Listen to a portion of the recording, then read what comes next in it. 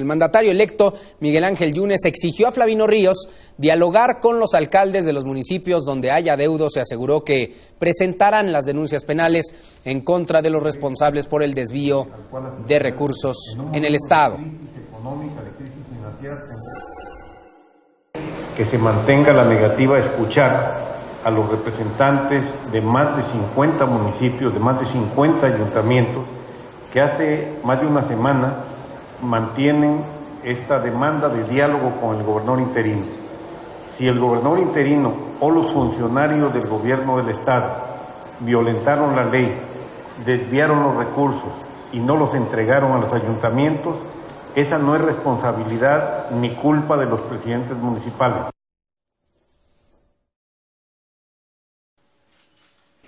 Te invitamos a seguir cuestionando la información con los siguientes videos.